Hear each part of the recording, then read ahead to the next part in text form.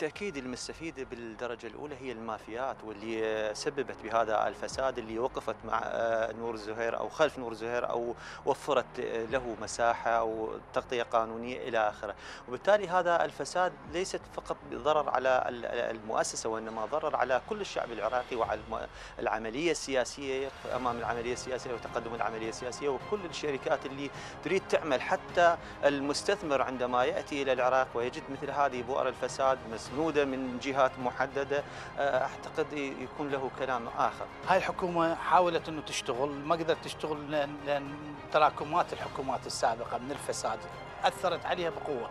إحنا حتى الحكومات السابقة اللي حاولت إنه تشتغل لأن لأن رؤوس الهرم اللي موجودين أغلبهم فاسدين فلهذا شوف إنه دائما عجلة الإعمار يحطون بها العصا لتأخير اعمار حتى لا يحسب لهذا السياسي المعين أو هاي الكتلة المعينة أو هذا رئيس الوزراء المعين فيكون حرب واضحة بهالامور. أكيد الجهات المستفيدة من هذا الموضوع اللي تطلب دائما أنه يبقى الوضع بهذا بالخراب أو الدمار في سبيل استفادات مادية أو استفادات معنوية خاصة بهم لغرض تنمية أحزابهم لغرض تنمية آه، الجهات اللي هم تابعين لها لدعم مشاريع خارجية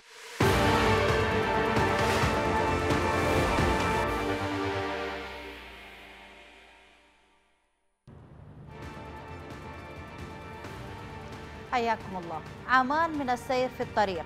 انسيابية هنا تعرجات هناك. مطبات ومخاطر جازف بها كثيرا قائد الرحلة. حاول السير بين المركبات والالتزام بكل التعليمات. سرعة محددة انضباط مدروس لكن الحوادث واردة الحدوث سواء كنت السبب أو المسبب. الأهم أن تلتزم بارتداء حزام الأمان فبعض الحوادث مميتة إذا غابت الوقاية تلك هي رواية الحكومة وحكومة الخدمات تحديدا التي استعرض السوداني مسيرة إنجازاتها واعترض بعض الأطراف على أدائها. فهل ستكمل مسيرها أم أن الطريق بات مهددا؟ كتهديد الجهل الذي استشرى في المجتمع لتنطلق الدعوات السياسية بضرورة عقد مؤتمر وطني لبلورة شراكة وطنية لمحو الأمية. فهل ستكون هناك استجابة أم أننا اعتدنا على ترك الحلول دون أي مبادرات ومشاريع. أهلا بكم.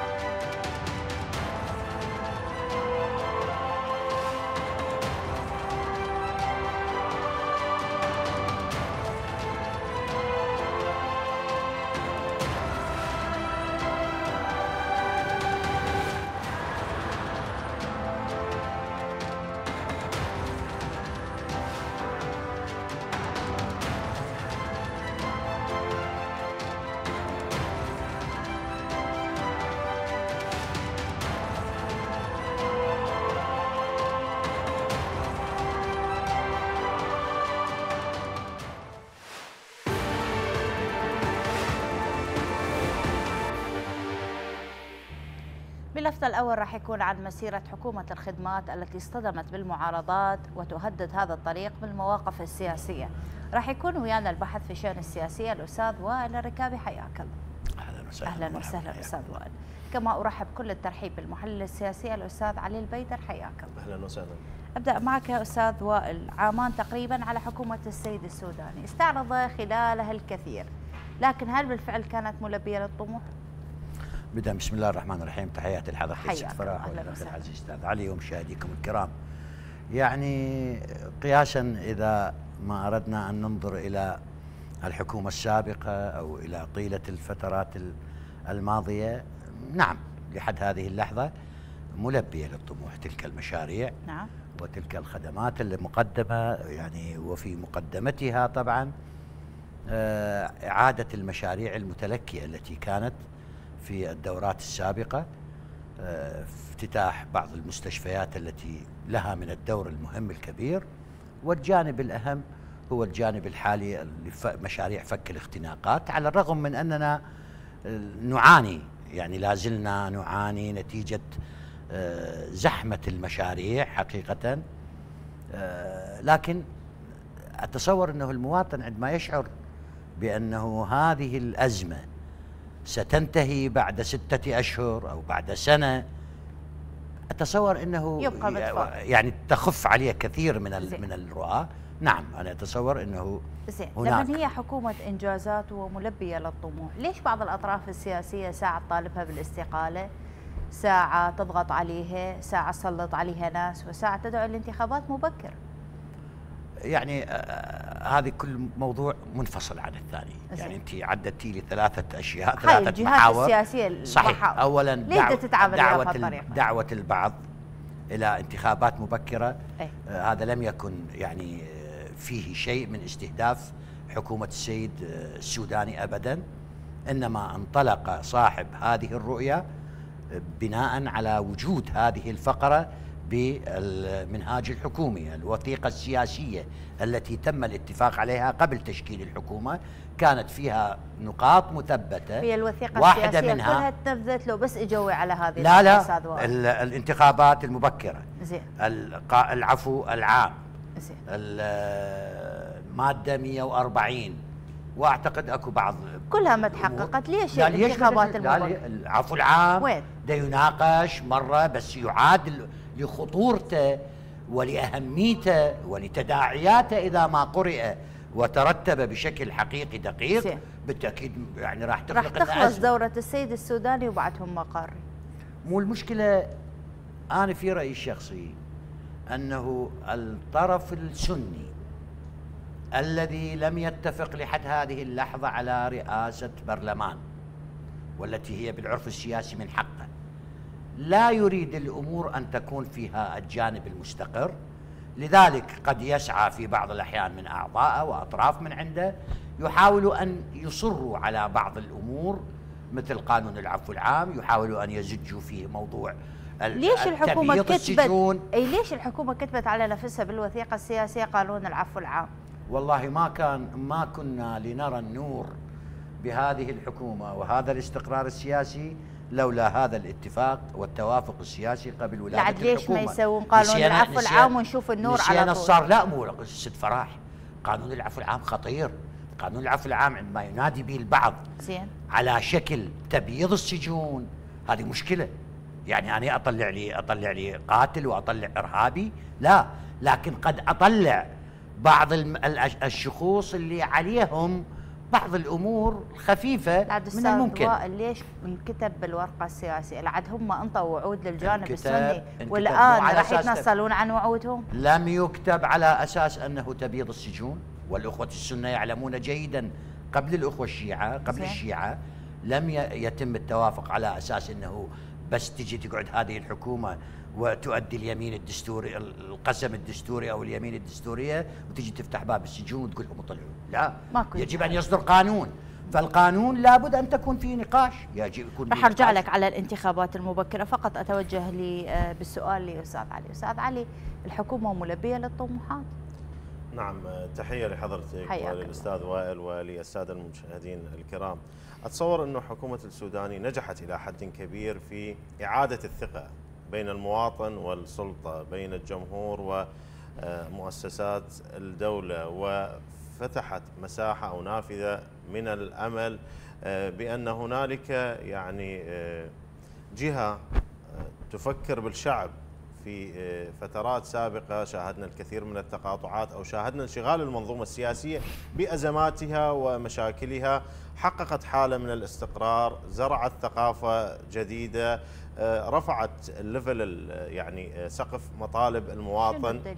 وطموحي نعم نعم معترض على إسعار الدولار معترض نعم. على الاقتصاد بصورة عامة عندنا أزمة إذا انخفض أسعار النفط إحنا راح نروح ورا الشمس الاختناقات المرورية حتى الآن قائمة الوضع الأمني غير مستتب جرائم قتل منتشرة المخدرات سيطر عليها بشكل جيد ولكنها لا زالت منتشرة. الحكومة تقول دائما أنها تراكمات وتركات الحكومات السابقة والمواطن بين قوسين مل كثيرا من هذا السبب. نعم. يعني في كل دولة في كل حكومة هنالك أزمات ومشاكل لكن نتحدث عن الإرادة في معالجة تلك المشاكل والنجاحات المتحققة. أنا إذا اليوم أقعد ركبة ونص للحكومة وأقول هذا الشيء غلط وهذا الشيء كذا وعندي فلان ملاحظات بعض الطروحات هي صحيحة. يعني لا نتحدث عن شنو الطروحات الصحيحة؟ يعني آه، هنالك نتحدث عن مثلا مساحة مكافحة الفساد. يعني لم يتم آه، الوصول إلى درجات آه، متقدمة. هاي أول كلمة قالتها الحكومة منذ تأسيسها. نعم.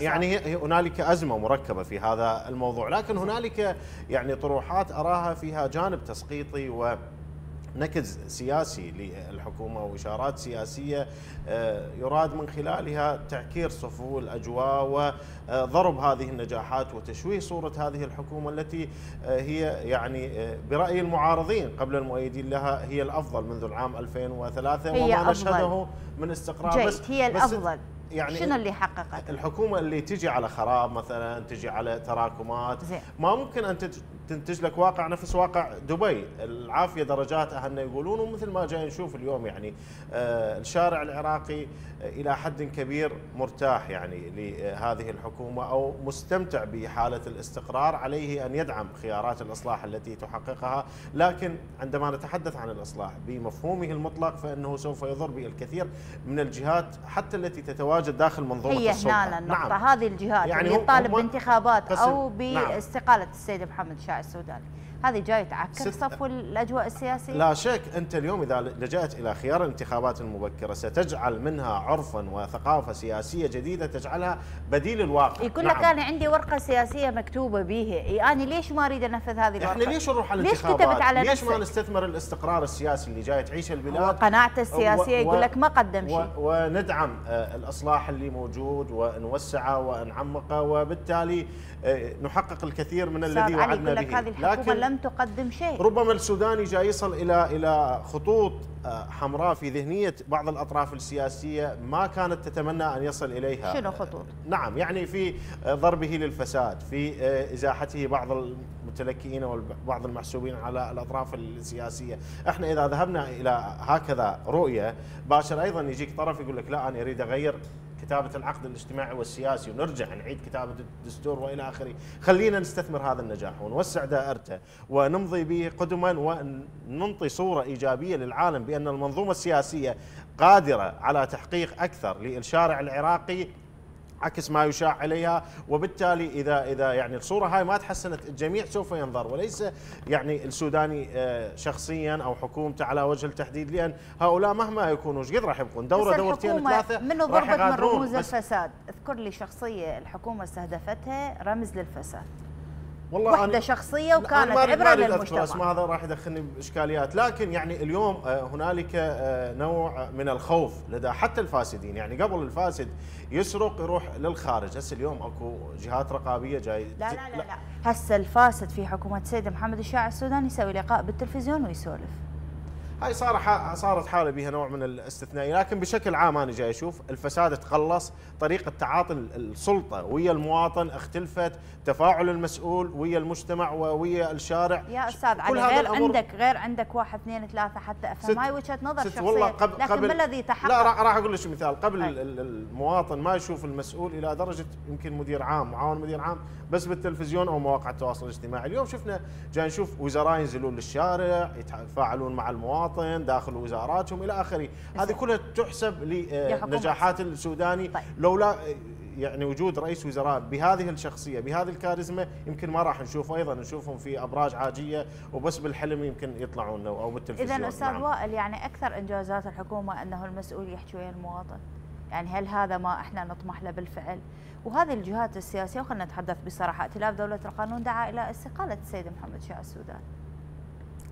طبعا بشكل علني ست فرح لا يوجد هكذا تصريح. بس لربما بالتسريبات التي تنقل من هنا وهناك هذه أنا ما أستطيع ان ما أستطيع أن أعتمد على السيد المالكي ما قابل على أداء محمد الشيع السوداني. لا. نتحدث بصراحة لا أستاذ وائل. لا أخذيها من عندي. ويحسب الكلام علي أنا شخصيا. لم يكن هناك خلافا بين السيد السود المالكي مع السيد السوداني يعني يصل إلى مستوى رغبة السيد المالكي بأن يقال السيد السوداني. أبدا. ست فرح إحنا بدنا نتحدث عن عملية سياسية. عملية سياسية والحكومة إجت نتاج من الإطار ومن ائتلاف إدارة الدولة. فلا يمكن الإطار يعني منطقيا أن يحمل السيد الشياع السوداني محمد الشياع السوداني مسؤولية التقصير أو الخلل في سوء الإدارة. يعني أنت تفند ماكو هيك شيء؟ لا شوفي أنا أعتمد على شيء واضح ومطروح علني. يصدر من ألسنتهم ببيانات رسمية. أما ما يحدث من حوار بين سين من الكتل السياسية وصاد من الكتل السياسية هذا عند رأي هذا عند رأي هذا أمر ما دام ما معلن. طيب ما ممكن ما أن أستخدمه لكن حضرتك قريب من ائتلاف دولة القانون. نعم. يعني وقريب من الأجواء السياسية عموما. شنو علاقة السيد السوداني والمالكي بصراحة؟ علاقة جيدة. زين. والمالكي داعم إلى الحكومة. وعد ما أطلق كلمته ورغبته بانتخابات مبكرة مثل ما ذكرتش لأنها جزء مو ست فرح أكو بعض الأحيان أكو ضغط سياسي من قبل الأطراف. يا أطراف. الش... أنا أقول لك يا أطراف الأطراف الشركاء اللي وياك بالوطن. هم سنة وأكراد. السنة والأكراد. أي؟ يجون يا جماعة الخير ليش ما تنفذون الورقة السياسية اللي تم بها الحديث؟ يا بيا شنو اللي بيها؟ الكردي يقول المادة 140 السني يقول العفو العام بعض الأطراف يقولون الانتخابات مبكرة. فدعوة السيد نور المالكي يعني على الأقل أنها يا بدعينا شو أنتم ما حد اجى قال تعالوا يعني وين هذا يلا خلينا ننتخب. هسه هي مو قضية إسقاط فرض بقدر ما أنه تحقيق تحقيق طلب موجود داخل ال ال ال ال الوثيقة السياسية. وبس هذا الطلب يحقق. هذا واحد. اثنين أنه الأزمة السياسية بعض الأحيان هي ترى صحية. يعني أن أنت أنا أنبهك على فد نقاط. نعم أنا قد أتفق معك إنه ليست في مستوى الطموح. يعني ما, ما تحقق هو ليس في مستوى الطموح. لكن ست فرح خلي ننظر الموضوع بتجرد. العراق يعني على الأقل ما أريد أقول قبل لا من داعش ولحد هذه اللحظة. من حكومة 2014 وإلى الآن. زين. مو إجانا داعش وإجتنا مظاهرات تشرين وإجتنا وجانا فقر وجانا قحط وجتنا كورونا واجتنا أزمة عالمية صحيح. اقتصادية. وإجانا بال21 بانتخابات ال21 وصل الإشكال شيعي شيعي. إجت الأزمة انحلت. فأني في أعقاب هكذا وضع وفي هكذا حال. لابد أن شوية حالة التوازن مطلوبة ما أقدر أميل لا إلى سين ولا إلى صاد. نعم مو مستوى الطموح. نعم نعم خلل أن يطلع نور زهير على الشرقية ويطلع لي قاعد بلقاء. هذا خلل. هاي هاي مسقط حكومة. بس هذه مو خلل حكومي. أستاذ وائل هذه لو كانت في غير حكومة ما كان قامت الدنيا عليها ولم تقعد بصراحة. يعني ممكن حتى أكون صريح وياك. نعم ممكن أن تكون آه لأنه عندنا شك لو كانت بغير حكومة. مثلا لو الحكومة السابقة حكومة الكاظمي وصاير هكذا حدث لأني أنا أصلا مشكك برئيس الوزراء. زين. الكاظمي فبالتالي أي سلوك من عنده أقول هذا مقصود. لكن السيد محمد جوحي السوداني الاطار كله اتفق واجتمع حتى يحلون قضية محمد جوحي. مو يحلون قضية لا حل محمد جوحي واضح جدا أنه يتحول للقضاء والقضاء هو الذي يمتلك الأدلة والوثائق والجميع يؤمن بحلول القضاء وبالقول. القول لكن اجتمعوا على حجم وارتدادات محمد, محمد ما يشتغل ببلدية ولا يشتغل بأمانة يشتغل بمكتب رئيس الوزراء احسنت ملفات ومراسلات هم هم تجسس وابتزاز وتنصت وابتزاز قد تكون هذه كلها. حجم المصيبة كبير. حجمها كبير. أنا كمتلقي اليوم أشوف نور زهير وأشوف محمد جوحي يقول هاي حكومة ناجحة. لا مو هذا مو عمل حكومي. يعني نور زهير يعني واحد يتحدث للإنصاف هسه يعني خب لا محسوب على حكومة السيد السوداني. ولا أحاول أن أجملها لكن أتحدث بواقعية. محمد جوحي أنا بالنسبة لي يعني من مخلفات حكومة الكاظمي. مخلفات حكومة الكاظمي. ليش ما طلعها السيد محمد الشاعر السوداني؟ إيه. ليش بقى؟ مخلفات وتعدكم ألف اعتراض واعتراض على حكومة أحسنتي. هذا هو قد يكون هنا. الحديث والحوار ما بين قادة الإطار وبين السيد السوداني على بعض الأمور وتصور أنه هو طرح. قال لهم أنا ما عندي أي خلفية وأي معلومة حول هذه الشخصية وحول حملة وحول وجوده. تعرفين يعني مكتب رئيس الوزراء خب مو يجي بعد للموظفين هذا الشيء يشتغل هذا. غير المفروض أكو جهات رقابية مسؤولة عن أقسام. إدارة رئاسة الوزراء. أنتم كنتوا تتهمون مستشاري السيد الكاظمي. أقول لهم و... هو الكاظمي كله غباء. رائد جوحي. فلذلك انتقد رائد جوحي وانتقد حتى البواب اللي من زمن حكومة السيد الكاظمي. كان كانت أكو مشكلة. رائد جوحي مو عمه محمد مو عليكم يعني مو بالضرورة حتى وإن كان عمه. صلة القرابة لا تغني يعني وتخلي الإنسان يحسن أو يقبح إذا كانت صلة القرابة بيه. نتاجات تشرين وأنتم كانت عندكم ملاحظات كثيرة على نتاجات تشرين ولا زال ولا زال أنا شخصيا وأعتقد الإطار لا زال عنده مؤشر زي. على كثير من الأسماء لكن هذا التوصل إلى حلول معقولة زي. تحافظ على حالة الاستقرار يعني يعني هاي دعوة القوى السياسية آه، إلى إلى كل هذا التحلي بالمسؤولية والوقوف خلف الحكومة وبالمقابل أكو دعوات أخرى إلى الاستقالة وانتخابات مبكرة. السوداني ما حكى بتحديات البارحة بس هذا تلميح للقوى السياسية. مو معناه أكو قوة جاي توقف قدامي وتهددني؟ نعم. آه، طبعا رسالة السوداني آه، أمس هي محاولة لإفهام الجميع سواء على المستوى شارع العراق اجتماعيا سياسيا نخبويا أو حتى على الصعيد الدولي آه، بأن الواقع العراقي آه، يعني بدأ يتقدم إلى الأمام بخطوات صح بطيئة لكنها ثابتة ومحسوبة وتشير إلى وجود شخص يتحلى بمسؤولية. تحدث أيضا عن حجم التحديات وأن هنالك بعض الأطراف تحاول وضع العصي في دواليب هذا من هي الأطراف من النجاح؟ يعني آه، أنا ذكرت لحضرتك بالبارت السابق إنه آه، عندما يكون الإصلاح بشكل مطلق سوف تتضرر أيضا أطراف داخل منظومة هذه السلطة. هذه كلمه فضفاضة. لا. السيد الوائلي نعم. الآن قال لي بوضوح السنة والأكراد يردون وحدة لا مو ثلاثة تحقق في الوثيقة لا مو بالضرورة. لا لا مو بالضرورة أنا هسه اسالك أكو أطراف اليوم شيعية نعم تدعو نعم لعدم نعم نعم إكمال نعم. السيد يعني السوداني ربما ربما خطوات الإصلاح التي يعني آه، بدأ بها السيد السوداني آه، نتحدث بشكل مطلق. أضرت بالكثير من الأطراف الشيعية وقوضت نفوذهم داخل منظومة السلطة أو حتى على مستوى ضرب الكثير من العناوين الفاسدة. هو يعني لم يكترث عنوان فاسد حتى الآن انضرب. ربما التعليل الوحيد أنه هذه الأطراف تخاف من توسع نفوذ السيد السوداني ومشاركته بالانتخابات. اليوم عندك توسع قاعدة جماهيرية أستاذ علي.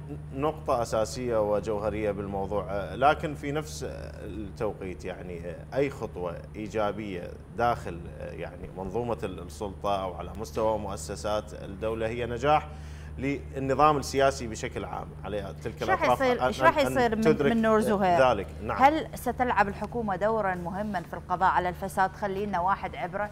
حقيقة إحنا اليوم نريد نشوف فاسد يكون عبرة لبقية الفاسدين. نعم. ست قضية نور زهير لا يمكن أن تغلق مثل ما تريد الكثير من الأطراف المستفادة في هذا الموضوع. لسبب واحد أنه الحكومة هي ألزمت نفسها بالكشف عنها وعن تفاصيلها وكلش كم يوم يطلع كان السيد رئيس هيئة النزاهة وحتى دولة رئيس الوزراء ظهر جليا في الكثير من اللقاءات التلفزيونية وأعلن عنها. لذلك هي ملزمة للوصول إلى نهاية الأزمة أو حتى آه، قفل القضية ويعني آه، تصفيرها بشكل مطلق ومحاسبة المذنبين أو المتهمين وحتى الأطراف المستفيدة منها أو التي كانت تقف خلفها عليها آه، أن تفضح أمام الشارع العراقي. لذلك يعني رئيس هيئة النزاهة يتعرض لضغوط. يعني المؤتمر طبيعي جدا طبيعي طبيعي. السياسية بشكل يمكن هذا بشكل هذا جزء يسير ربما من ما أعلن.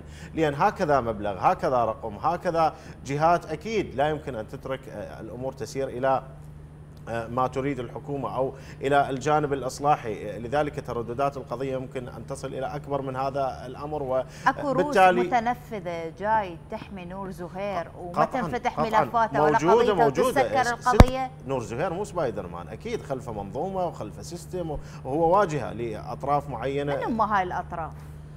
ما أعرفهم بالاسم وما أقدر يعني أقول أسماء بحد ذاتها لكن آه، الفوضى التي يعني أنتجتها المراحل ما بعد عام 2003 لا شك إنها صنعت الكثير من الديناصورات داخل المنظومة السياسية داخل السلطة حتى على المستوى الحضور الاجتماعي وأنتجت شخصيات معينة من خلالها تستطيع الوصول إلى المال العام، تستطيع حماية نفسها، تستطيع أن تحصن آه، الكثير آه، من الإمكانيات وتمنع اختراقها يعني حتى على آه، كانت عصية على مؤسسات الدولة الرقابية. عندما نذكر هذه القضية فإنها يعني ربما سوف تكون ملاصقة لحكومة السوداني والجهات الرقابية داخل الدولة وبالتالي لا تستطيع حكومة السوداني أن تغلق القضية أو أن تضمرها لصالح إذا بعض ما اتخذوا إجراءات بحق نور زهير هل هي كفيلة هذه الحادثة وحدها كفيلة بإسقاط حكومة السيد محمد شاع السودان؟ والله ست إحنا عندنا هواية مشاكل يعني عندما نتحدث عن هذا نقارن الأزمات التي أسقطت حكومات في بلدان أخرى آه، ربما آه، يعني آه، ربع هذه القضية يعني حصلت. نعم لكن الواقع العراقي الواقع العراقي مليء بالأزمات. لا أتصور أنه قضية نور زهير لو اخوه يوسف. لا أتصور يعني إنه قضية نور زهير أو قضية شبيهة بها آه، كون الواقع العراقي مليء بالأزمات ومليء بالمشاكل ويعني آه، آه، عندما نقارن هذا الواقع بواقع آخر ربما قضية الخدمات. قضية البطالة قضية الفقر إلى آخره من التفاصيل لكن اليوم الشارع العراقي مخدر بالأزمات ومخدر ربما حتى والله حتى مخدر بالوعود يعني حتى أكون وياك منصفة مخدر أتفق اتفق ويا حضرتك إحنا كهرباء خلص الصيف راح نعم. تتحسن الكهرباء وراح تتحسن وكل شيء ماشي أتفق بهذه النقطة لكن يعني آه، مساحة الأمل بدأت تتسع شيئا فشيئا وندعم يعني آه، هذه الرغبة وهذه الإرادة وحتى هذه الوعود ندعمها ويعني آه، نراقب هذا الأداء ونشخص مكامن الخطأ والنجاح زي. وننقد الخطأ وندعم هذا النجاح إحنا ما يصير يعني نضرب نجاحات السوداني في صفر وفي نفس التوقيت زي. نضخم من الأزمات الموجودة في الشارع ليه نعم. ضحكت على سالفة البير وأخوة يوسف. ضحكت على سالفة البير وعلى أخوة يوسف. ليه سمعت؟ وليه ضحكت عليها؟ وشنو اللي بداخلك؟ وبصراحة مو ق... لا مو قضية نور زهير أي. يعني هي ابتداء. الآن أنا في رأيي الشخصي أنه القضاء والحكومة على المحك في قضية نور زهير وخاصة القضاء لأن القضاء هو الذي آه يعني أطلق حرية نور زهير مو مو مو الحكومة للإنصاف. وإلا لو كان القضاء قد أصدر امرا قضائيا بعدم السماح بالسفر لنور زهير مو لو يجي السيد أو عدم تكفيله صح. أكبر واحد ما يقدر يطلعه. هي هاي الأسئلة إذا يقول لك ليش؟ فلذلك القضاء حينها اعتقد أنا ما أقدر أخلي نفسي بالقضاء في مكان القضاء. لكن عندي ثقة مطلقة بالقضاء. لأنه أنا أعتبر القضاء هو الشيء الوحيد الثابت ضمن الأمور المتحركة الآن. زي. حكومة تروح وتجي غيرها. لكن القضاء ما أقدر يعني أفكر نيابة عنه. لكن قد يرى أنه من مصلحة البلد من مصلحة العملية السياسية الدفاع عن العملية السياسية من أجل استرداد الأموال. لا ليش وصفتها بالمحك قلت الحكومة والقضاء على المحك شنو الممكن يصير؟ طبعا اذا إذا نور شهير. ما ما استطاعت الحكومة أن تجيبه بالانتربول. زين. والقضاء ما أصدر بحقه وبحق من؟ بمعيته حول الشبكة المعروفة اللي تطلع. يعني أبقى أنا أقول مع كل الأسف. يعني شلون؟ اموال العراق هذا يعني راح أفقد الثقة. إيش راح أسوي؟ خب ما أسوي انقلاب. لكن أفقد الثقة كلمة في واحدة بس فقدان الثقة؟ لا شو أقدر أسوي؟ ما أقدر أسوي شيء. ممكن أشوف زو... نور زهير يموت؟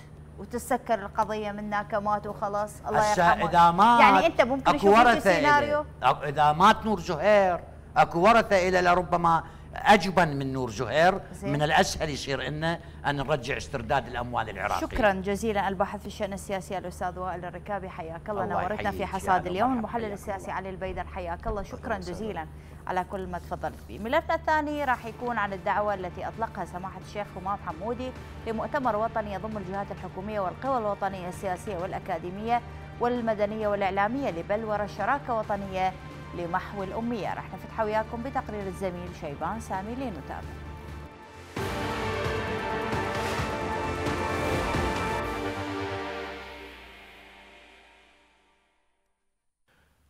كان العراق يمتلك نظاما تعليميا من أفضل أنظمة التعليم في الشرق الأوسط حسب منظمة اليونسكو إلا أن الأزمات السياسية التي عصفت في البلاد جعلته خارج لائحة الدول الأقوى في هذا المجال. وفي اليوم الدولي لمحو الأمية دعا الشيخ همام حمودي الجهات الحكومية والبرلمانية والنخب الفكرية إلى تضافر الجهود لعقد مؤتمر شراكة وطنية للنهوض بواقع تعليمي جديد خال من الأمية. دعوة آه، سماحة الشيخ همام حمودي البارحة لاقت استحسان الكثير خاصة النخب الفكرية والثقافية لأنه آه، دعوة كانت ترتبط بعدة آه، محاور لازم تتم حتى تنشط هذه الدعوة وتحقق جدواها. مثلا قضية أنه عقد مؤتمر وطني يناقش هذه هذا الملف والخروج منه بمخرجات تصب في مصلحة الفرد والمجتمع العراقي هذا شيء جدا مهم.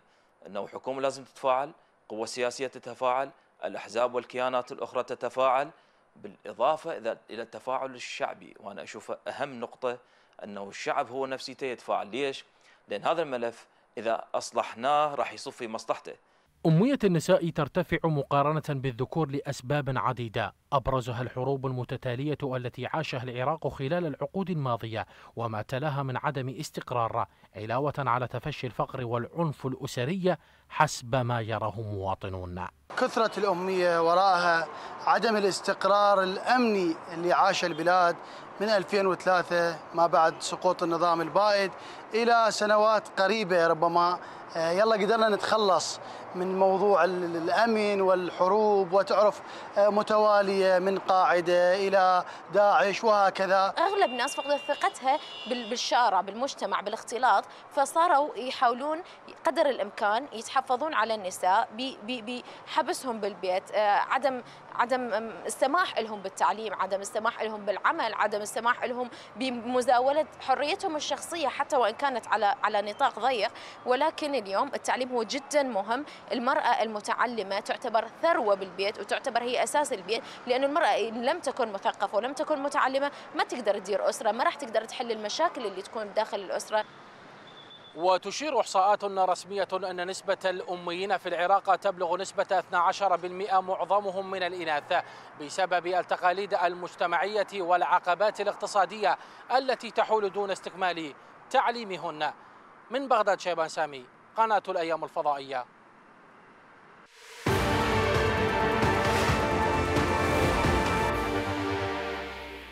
ملفنا الثاني راح يكون مع الناطق الإعلامي باسم الجهاز التنفيذي لمحو الأمية مؤيد خضير. حياك الله. حياكم الله. أهلا, أهلا وسهلا. كما أرحب كل الترحيب بالناطق باسم نقابة المعلمين فرع الرصافة الأستاذ محمد سعيد. حياك الله. حياكم الله. أهلا وسهلا. للمعلومة أنا مو ناطق إعلامي وإنما نقيب المعلمين في بغداد الرصافة ونائب رئيس اتحاد المعلمين العرب. نقيب المعلمين. حياك الله وأهلا وسهلا بك. يعني أبدأ معك باعتبارك نقيب للمعلمين. يعني شنو اللي جاي يصير؟ لماذا ارتفعت الأعداد اللي ما يعرف يقرأ ويكتب؟ انتشرت أعدادهم بشكل مخيف من بعد عام 2003 حتى هذه اللحظة. شنو السبب؟ أولا شكرا جزيلا لإتاحة هذه الفرصة للحديث عن هذا الموضوع الحيوي والمهم والكبير اللي يلامس حياتنا بشكل مباشر كعراقيين. وشكرا جزيلا لقناتكم وألف ترحيب بالأخ العزيز الناطق الإعلامي في الجهاز.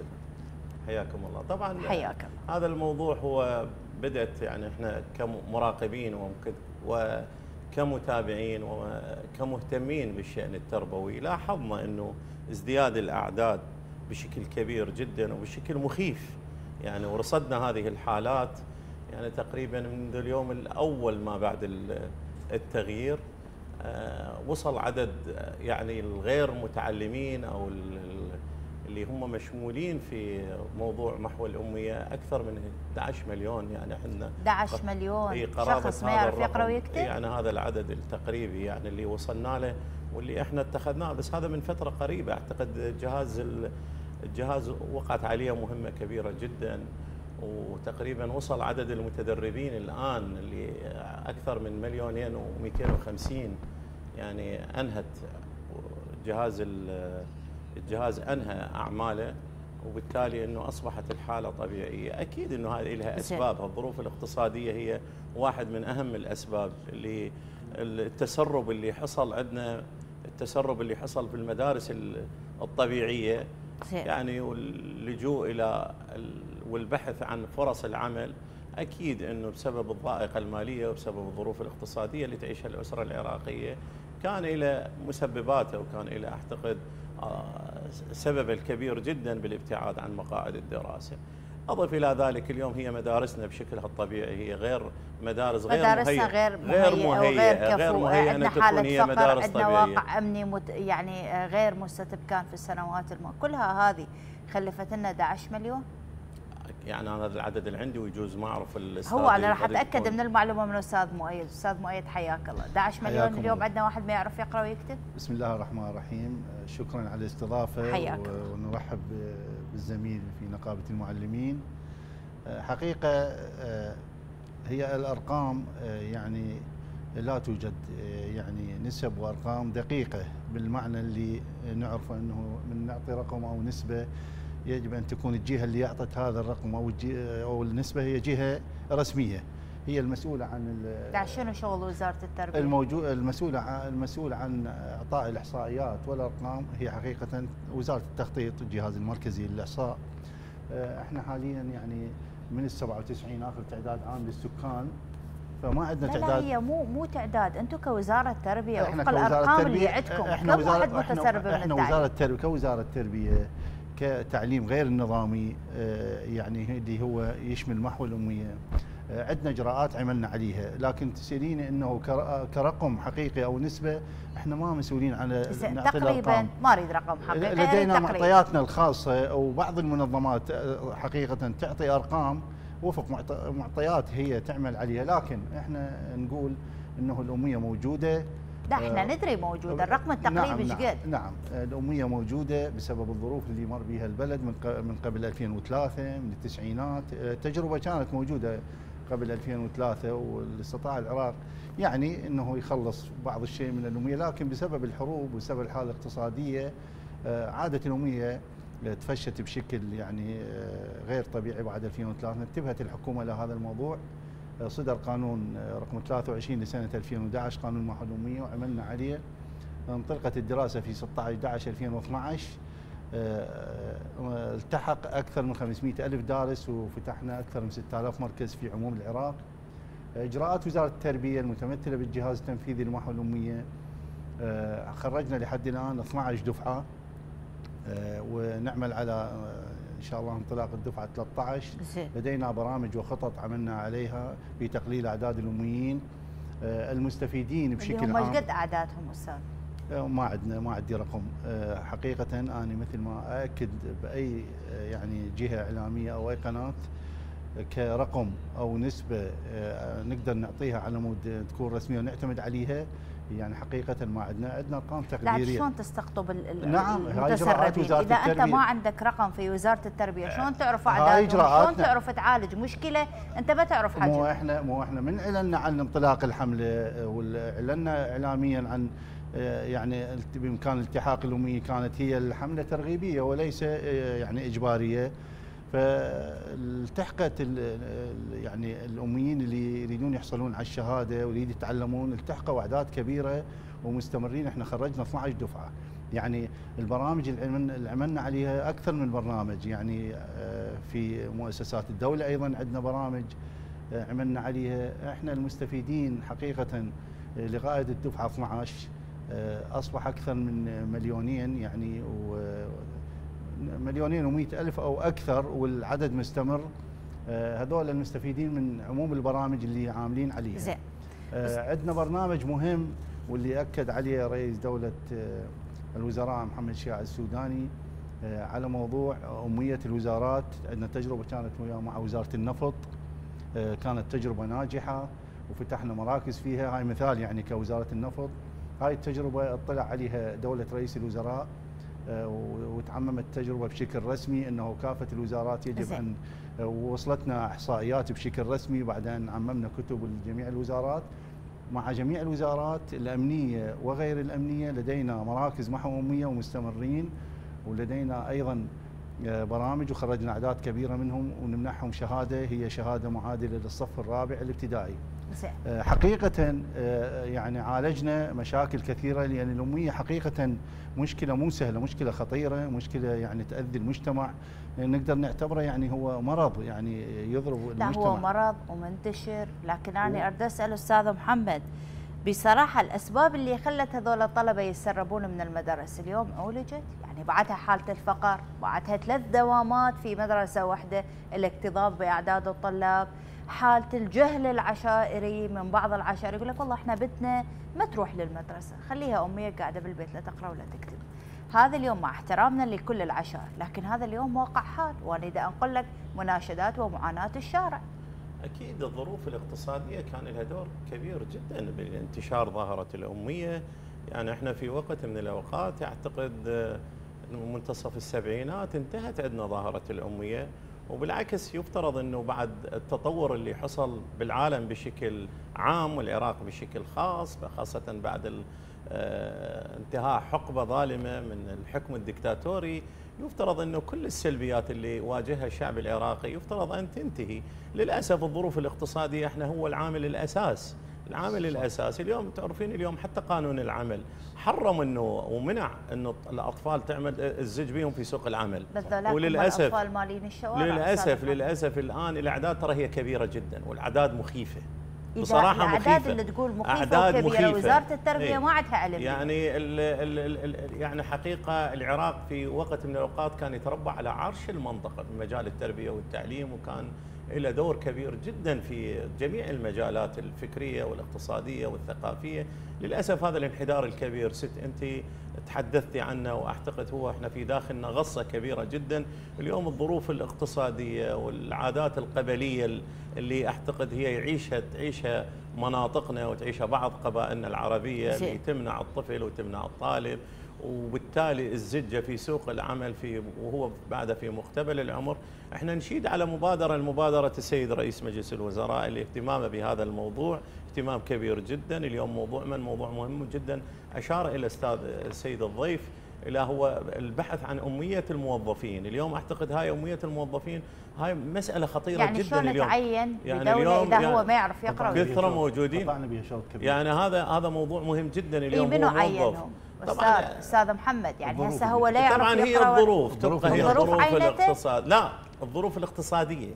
اليوم اليوم أغلب هسه إحنا اغلب قواتنا الأمنية يعني من الجيش يعني, يعني المنتسبين. بصراحة هو ما يعرف يقرأ ويكتب ومتعين هو أحسن له عنده ماجستير هسه قاعد يظهر بالشارع ما يعرف يتعين. طبعا هم الحالتين مطلوبة يعني هذا عنده هذا عنده ظروفه الاقتصادية الصعبة وهذا أيضا عنده ظروفه العائلية يتعين. الملحة. ما عليك من الظروف أيه. الع... يتعين أنا اليوم دا أحكي عن سيستم دولة. يتعين هو ما يعرف يقرأ ويكتب؟ طبعا مو هي مشكلة ست. لا هو أكو تعيينات الآن. فتحوا باب التعيين لا على لا, لا حتى من فتحت كأمي, كأمي لا تعينوا في ظل في ظروف. في في ظل ظروف معينة. طبعا في ظل ظروف معينة. هي طبعا هنا كان كان الكل هو يبحث عن مصدر رزق له ولعائلته ويحاول أن يأمن بس هاي هذا شلون بلد عادل؟ لما الحكومة تعين واحد ما يعرف يقرأ ويكتب ست مو هنا اللي اللي ما قدر ينام الليل كله وقرا أتمنى أن تنطيني مساحة بسيطة أتفضل. جدا لموضوع مهم جدا وحيوي هو طبعا. اليوم إحنا حقيقة نتألم نتألم اليوم. أكيد إحنا كأولياء أمور لعوائل كريمة وأنا أعتقد أتحدث نيابة عن الشارع العراقي. مو نعم. معزل عنهم ولكن أنا جزء من هاي المنظومة المجتمعية صحيح.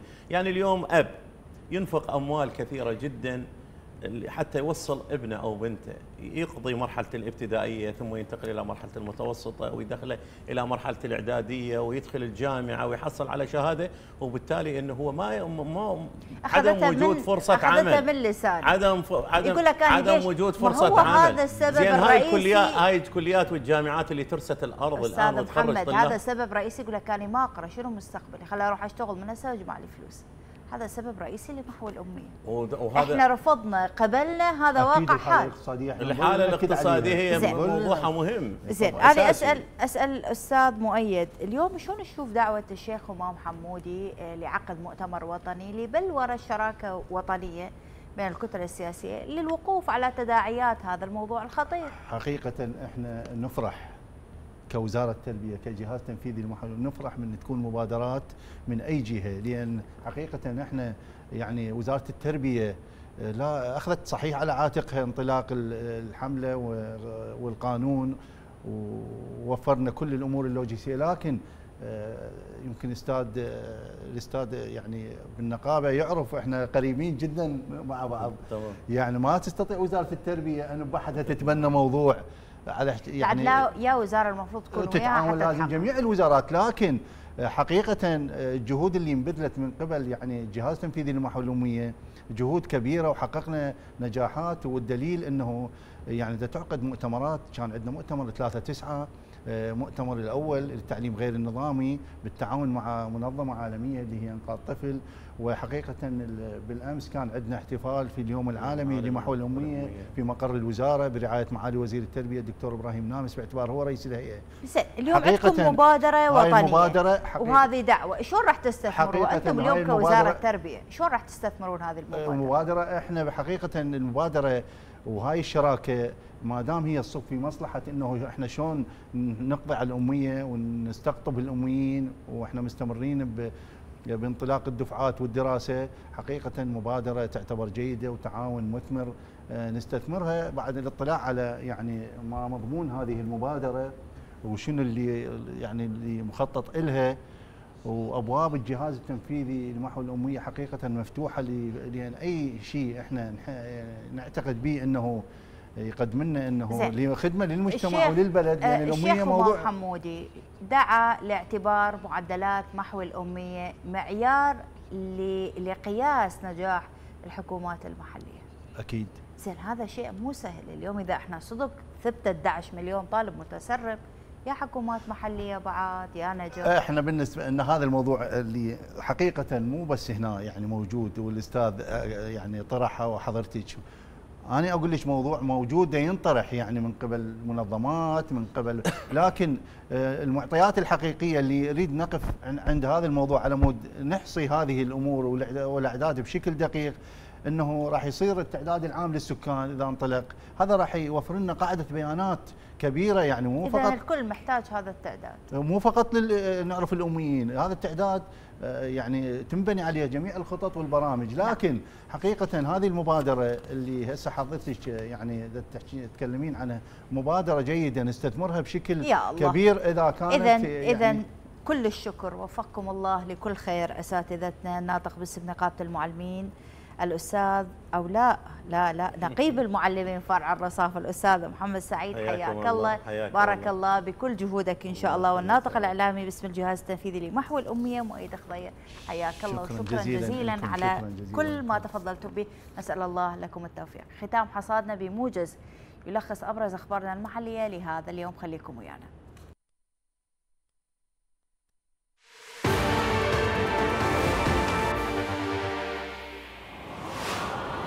وزير الداخلية يوجه بتعزيز القطاعات الأمنية في سامراء المقدسة لتأمين زيارة الإمام العسكري عليه السلام.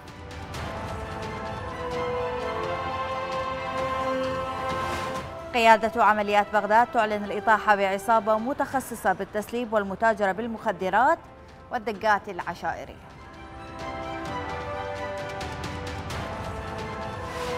رئيس هيئة الاستثمار يؤكد بأن دخول العراق باتفاقتي نيويورك وسنغافورة يحقق انتقاله بجذب الأموال للسوق العراقية.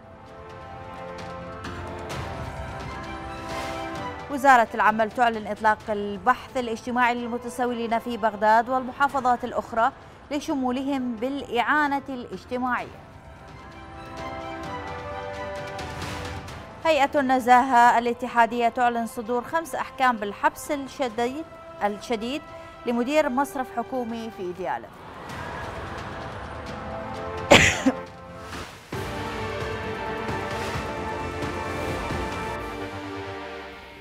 الحصاد انتهى. شكرا على كرم المتابعة وتصبحون على خير.